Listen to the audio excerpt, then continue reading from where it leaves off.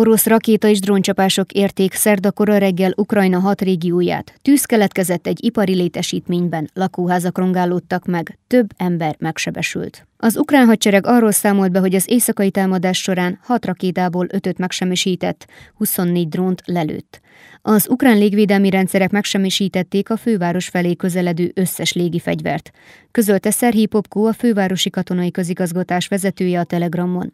A lezuhanó roncsok megrongáltak egy Kiev környéki ipari létesítményt, ami tüzet okozott, írta. Hozzátette, hogy több mint 105 ember 30 eszközzel fékezte meg a lángokat. A támadásban megsérült egy ember, továbbá magánlakásban, garázsban, benzíkmutban és raktárban keletkeztek károk.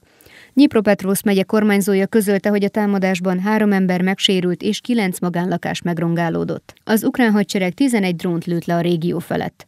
A légriadó több órán át tartott Ukrajna egész területén, amit nem sokkal éjjel egy óra után rendeltek el.